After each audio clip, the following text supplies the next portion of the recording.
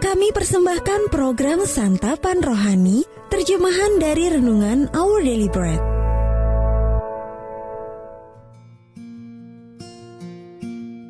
Sahabat ODB, pembacaan Alkitab hari ini terambil dari Amsal pasal yang ketiga, ayat yang ke-11 sampai dengan ayat yang ke-12. Amsal pasal yang ketiga, ayat yang ke-11 sampai dengan ayat yang ke-12. Hai anakku, janganlah engkau menolak didikan Tuhan, dan janganlah engkau bosan akan peringatannya. Karena Tuhan memberi ajaran kepada yang dikasihinya, seperti seorang ayah kepada anak yang disayangi. Ayat Mas Renungan hari ini terambil dari Amsal pasal yang ketiga ayat yang ke-11. Janganlah engkau menolak didikan Tuhan. Judul renungan kali ini, Kasih yang Mendidik, ditulis oleh Daniel Ryan Day. Sahabat ODB anak perempuan saya membanting pintu kamarnya Kemudian ia melakukannya sekali lagi. Saya pun mengambil palu dan obeng dari gudang lalu mendatangi kamarnya. Dengan tenang saya berbisik di telinganya. Sayang, belajarlah mengendalikan emosimu.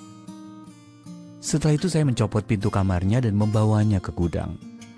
Saya berharap dengan membongkar pintu kamar anak saya untuk sementara waktu, ia akan ditolong untuk mengingat pentingnya pengendalian diri.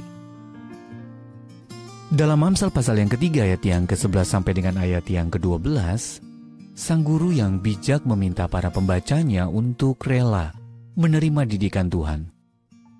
Kata didikan dapat diterjemahkan juga sebagai teguran.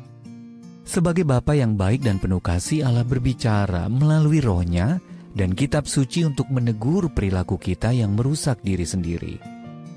Didikan Allah itu didasarkan pada hubungannya dengan kita dan bersumber dari kasih serta kerinduannya untuk memberikan yang terbaik bagi kita. Terkadang didikan itu hadir dalam bentuk konsekuensi atas tindakan kita. Terkadang Allah memakai orang lain untuk menunjukkan kelemahan-kelemahan kita. Seringkali semuanya itu terasa tidak mengenakan, tetapi sesungguhnya didikan dari Allah adalah anugerah. Namun kita tidak selalu melihatnya seperti itu. Penulis Amsal yang bijak mengingatkan, janganlah engkau menolak didikan Tuhan, ayat yang ke-11. Terkadang kita takut pada didikan Allah. Mungkin pula kita menyalahartikan hal-hal buruk yang terjadi dalam hidup kita sebagai didikan Allah. Tidak seperti itu. Hati Bapa kita yang penuh kasih, yang mendidik karena dia berkenan kepada kita dan menegur karena mengasihi kita. Daripada takut pada didikan Allah, marilah kita belajar menerimanya. Ketika kita mendengar suara teguran Allah dalam hati kita atau mengalami teguran lewat kitab suci yang kita baca, marilah mengucap syukur kepada Allah karena itu artinya dia berkenan menuntun kita kepada yang terbaik. Sahabat ODB, bagaimana Anda menyadari sesuatu sebagai didikan Allah? Dan bagaimana Anda merasakan kasih Allah di tengah didikan itu. Ya Allah tolonglah aku untuk menyadari didikanmu agar aku dapat mengalami kebebasan yang engkau berikan.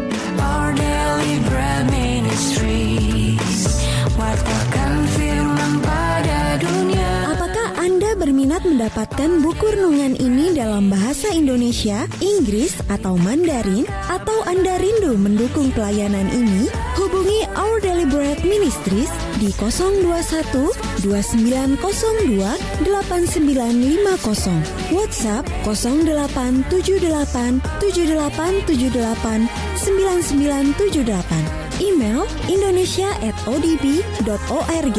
Tuhan Yesus memberkati.